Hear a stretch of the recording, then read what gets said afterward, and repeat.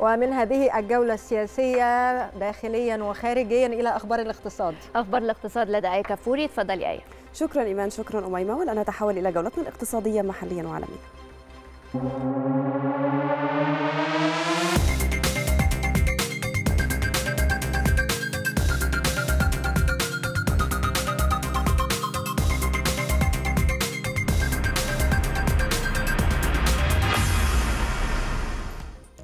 اجتمع رئيس مجلس الوزراء مصطفى مدبولي مع وزير البترول طارق الملا للاطمئنان على توفر السلع البترولية محليا في ضوء موجة ارتفاع الأسعار العالمية. وأكد رئيس الوزراء أن الحكومة تتابع بشكل دوري مدى توافر المنتجات البترولية في ظل التحديات التي تشهدها أسواق البترول والغاز العالمية وانعكاساتها بزيادة الأسعار إلى مستويات قياسية غير مسبوقة.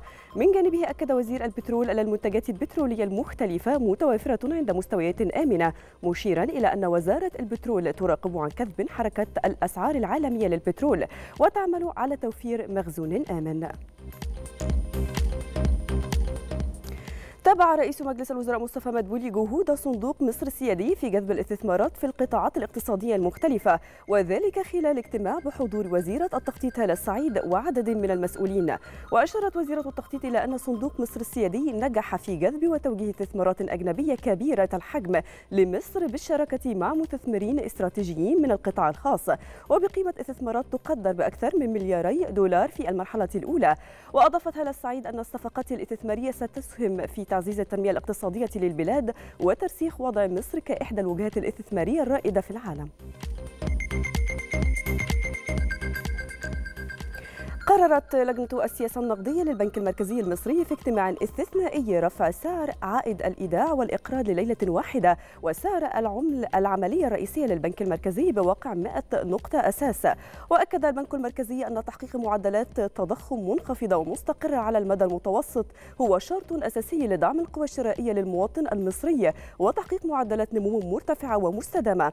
وأضاف البنك المركزي أنه على مدار الفترة الماضية نجح برنامج الإصلاح الاقتصادي في تحقيق العديد من المكتسبات وعلى رأسها رفع كفاءة مؤشرات الاقتصاد الكلي وهو ما مهد الطريق لمواجهة أي تحديات واضطرابات اقتصادية قد تطرأ نتيجة لعوامل خارجية.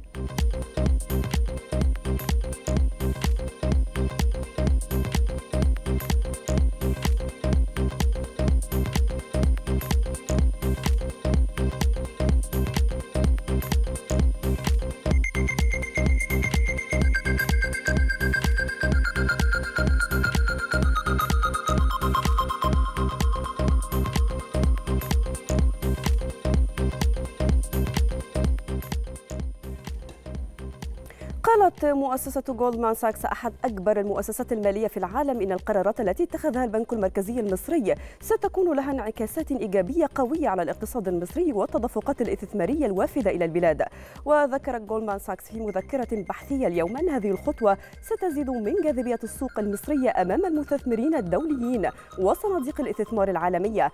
وأضافت المؤسسة الدولية أن الخطوة ستساعد على تحسن تصنيف العملة المصرية وعكس اتجاه التدفقات الخارجة للأموال من أدوات الدين المصرية لتتحول إلى شراء الجنيه المصري من جانب الصناديق الدولية. تفقد وزير البترول طارق الملا مركز التحكم في الشبكة القومية للغازات الطبيعية الذي تقوم بتشغيله الشركة المصرية للغازات الطبيعية جاسكو وذلك على هامش انعقاد الجمعية العامة للشركة تزامنا مع اليوبيل الفضي لتأسيسها. وأكد الوزير في كلمة له على أهمية دور جاسكو في التعامل مع المواقف بحرفية سواء على المستويين المحلي أو الإقليمي خاصة وأن الغاز الطبيعي أصبح الآن حديث العالم ومصدر مهم من مصادر الطاقة الدولية.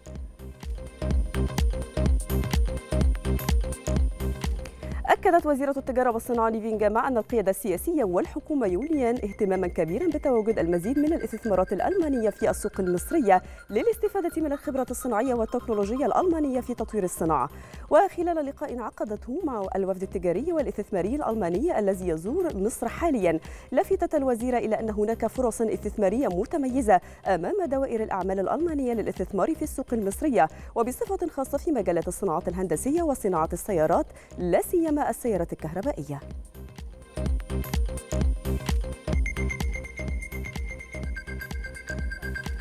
استقبل المستشار محمد عبد الوهاب الرئيس التنفيذي للهيئة العامة للاستثمار والمناطق الحرة وفدا من كبرى الشركات الألمانية لبحث فرص زيادة الاستثمارات الألمانية إلى مصر. وقال عبد الوهاب إن قصص برنامج الإصلاح الاقتصادي بشقيه التشريعي والتنفيذي قد نجح في جذب عدد كبير من الشركات الألمانية وأضاف عبد الوهاب أن العام المالي الماضي شهد تأسيس حوالي 70 شركة باستثمارات ألمانية كما زادت تدفقات الاستثمار الأجنبي المباشر من ألمانيا بنسبة 12%.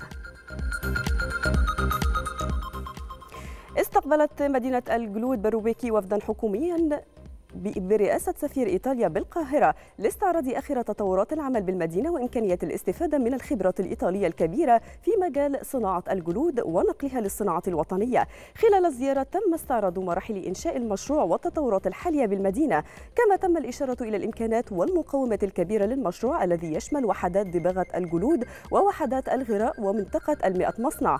من جانبه أكد سفير إيطاليا بالقاهرة استعداد الحكومة الإيطالية لتقديم كافة أوجه الدعم لمدينة مدينة الجلود بروبيكي بصفة خاصة وقطاع إنتاج الجلود في مصر بصفة عامة.